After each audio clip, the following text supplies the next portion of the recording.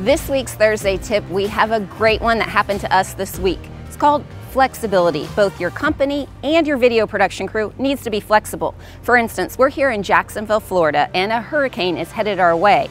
A two and a half day shoot needed to get condensed to a single day. Now, this was a single marathon day where we were all over the place, but it worked out because the company was able to reschedule some things on their end and we put in an extra long day to get all of the shots that we needed. Now that company can prepare for a hurricane and we can get the heck out of Dodge.